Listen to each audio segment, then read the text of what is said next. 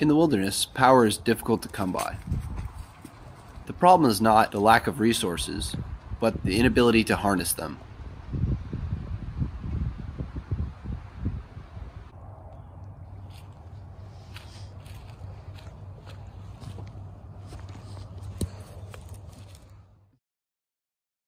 We've developed a portable steam generator that utilizes the waste heat from your campfire or camp stove to charge your electronics in the wilderness.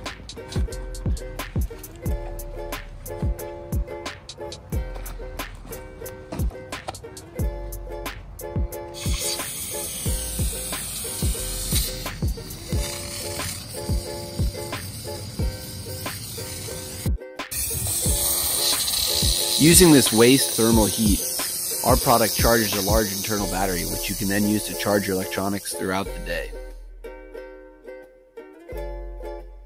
You won't have to miss that picturesque sunset.